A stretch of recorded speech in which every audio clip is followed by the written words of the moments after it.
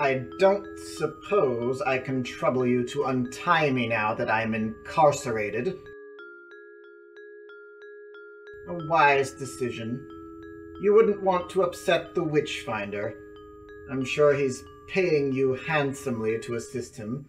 If it's coin you're after, I can offer more than him. It's not like that. Don't be coy with me. For the right price, people will do anything. What's yours? You have nothing that I want. Don't I? Ask yourself this. Do you think that a man of my position would spend his nights digging up graves? You had a room full of corpses. Perhaps. But who said I was working alone? Wouldn't it make sense that I would hire someone to do it for me? Someone desperate for a bit of coin? Someone in my employ with a husband and a daughter to feed? My mother would never do such a thing. She's capable of more than you can imagine. I'll prove it to you if you untie me. You won't even have to open the cell.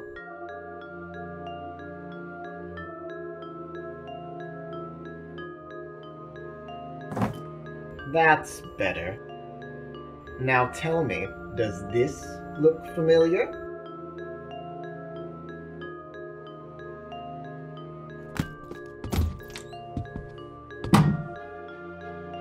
I've completed my mission. What of you?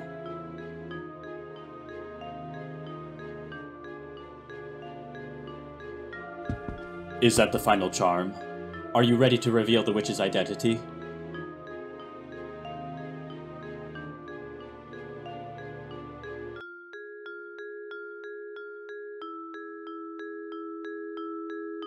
Curse is getting stronger, and it seems like now Mr. Schulte is afflicted by it too. The curse still binds my tongue and prevents me from revealing the identity of the witch, but it compels Mr. Schulte to spout lies and nonsense. Nothing he says can be trusted. She's lying. She's only saying that because her mother's the one who made this whole operation possible. If you condemn me, you'll have to do so as well to Joanna. This is awful. I, I never expected the curse to afflict Mr. Schulte. He's even feverish. We probably shouldn't get too close to him. Interesting that the curse isn't being passed on to me. Your amulets and hollowed position must be shielding you. We have to act quickly. If we don't get Mr. Schulte to the mental asylum, there won't be any hope for his salvation. I will go to the physician and see if he can break the curse, or at least help prevent it from afflicting anyone else who interacts with me.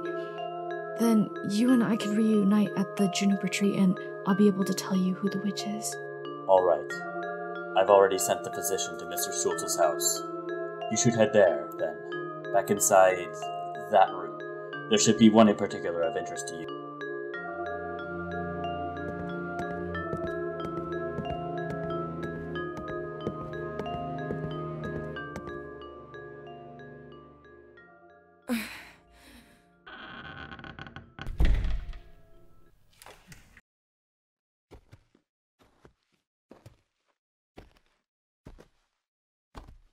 My heavens! You startled me!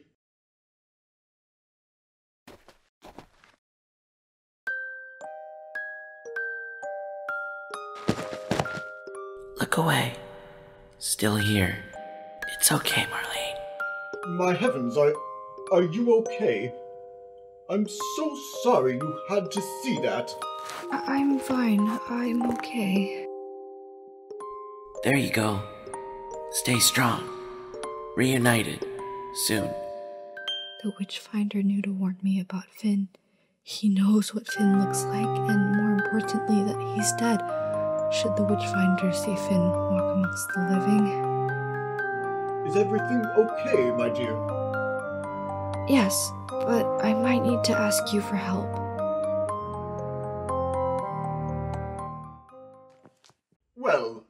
Can I help you, my dear? So, I was recently made a Witchfinder in training. Oh, Yes, the Witchfinder recently deputized me. Problem being, even with the title, I'm still cursed.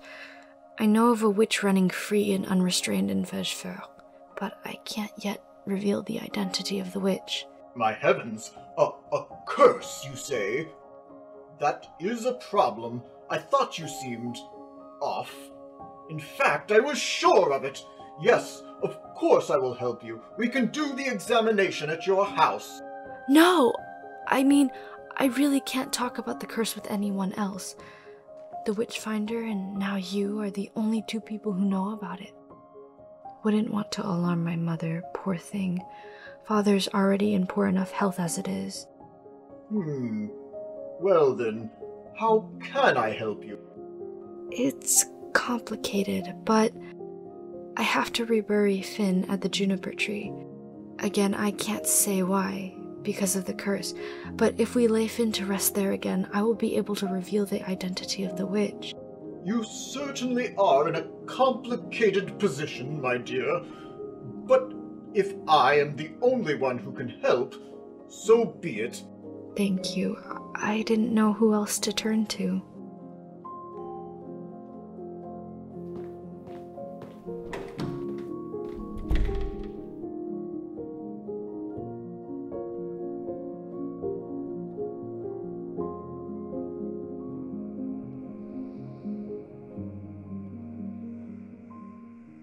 Marlene, good news. Mr. Schulte won't be causing anyone trouble anymore. I've just seen him off to the mental asylum for good. So, I see we found the witch. Found the witch? Where, Marlene? What is going on? Name him so I may enact justice. What? What are you talking about? What is he talking about? Like I told you, I couldn't reveal the identity of the witch until we were at the juniper tree. As you can see, it's pretty obvious what's happening.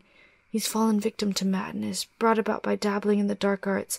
I think he's beyond help at this point. I mean, he thinks he can compel you into believing you're the true witch instead of him.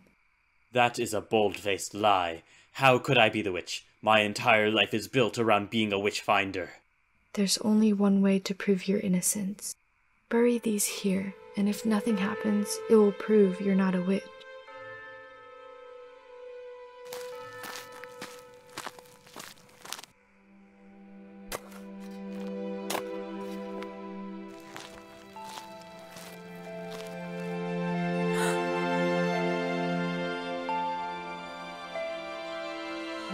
Heavens!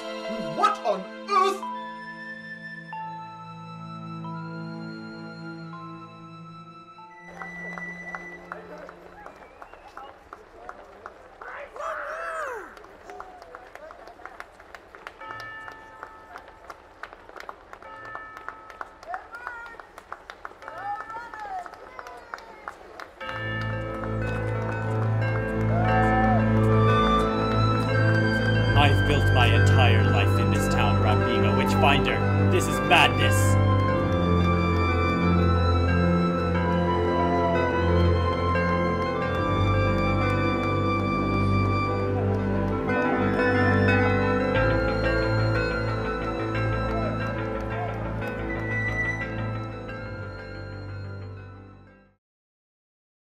So, what's next? The Witchfinder, or I guess the previous one, didn't exactly use the most even hand when it came to seeing justice done in our town. So I figured I should go back and undo as much damage as I can. Now that it's up to me, what should happen to Joanna? I mean, should we. Should I? No. This. Her living with the fear of comeuppance for what she did to me, to us, is an infinitely more fitting punishment. And if she does get out of line, she'll be in good company at the mental asylum. You know I wouldn't let anyone hurt you, right? No more murders on my watch. Same to you. Now let's get to work.